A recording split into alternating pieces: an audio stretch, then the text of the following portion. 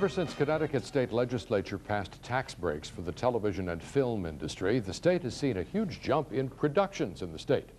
Today, a new recording studio opened in the home of the Rockville Rocket, and many are hoping it's the launch of a new era.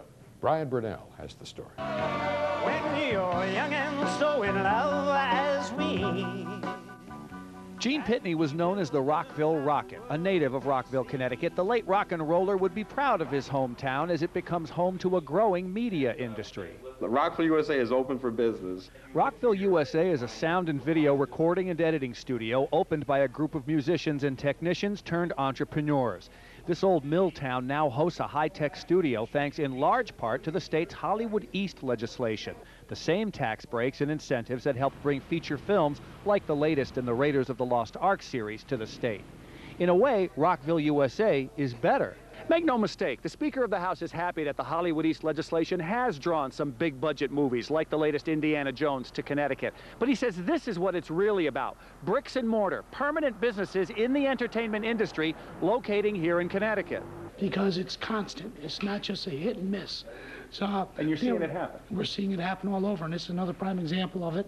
Much of the growth in the television and film industry has concentrated in Fairfield County because of its proximity to New York. Rockville USA partner Wayne Holmes says he now fully expects Hollywood to look to Rockville for work because he knows who's there. Will they come from LA if you guys create the reputation? I lived in LA for 10 years. You know what I found in LA? New Englanders in the film business.